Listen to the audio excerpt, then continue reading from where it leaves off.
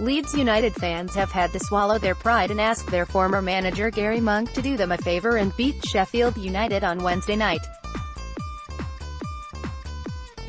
Monk took charge of Leeds for the 2016-17 season and led them to seventh place with the club only missing out on the playoffs due to a late-season collapse as they failed to win any of their final five games.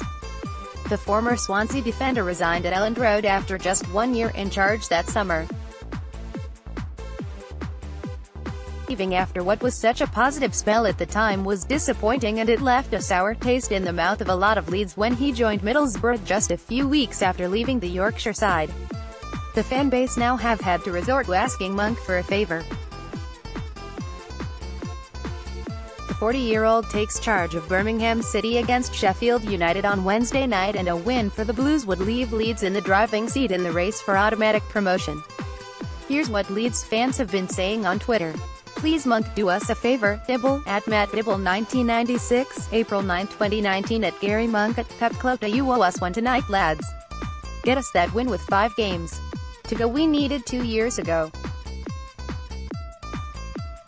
But if you get the win tonight all will be forgiven and I won't challenge you to a fight ever again. Owls, at Connor Owls, April 10, 2019 at Garry Monk Good morning Gary, if you ever had any leads in you, tonight you know what to do.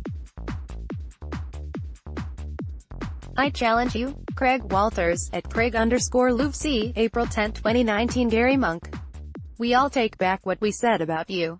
You gave us Pablo and Jansson. Tomorrow you could become a club hero and all will be forgotten.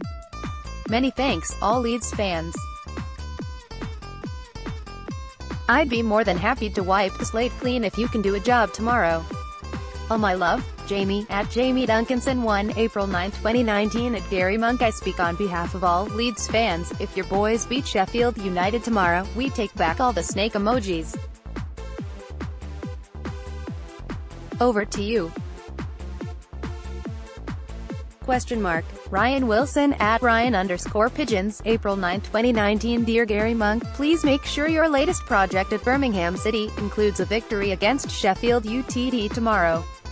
Kind regards LUFCX, Zachary B. At Leeds Zach, April 9, 2019 If Monk gets something tomorrow I think all will be forgiven. Luke, at Luke Air, April 9, 2019.